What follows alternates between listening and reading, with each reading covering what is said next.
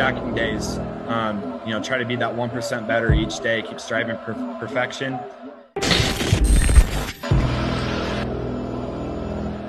And be a guy where, you know, if anything ever breaks down, that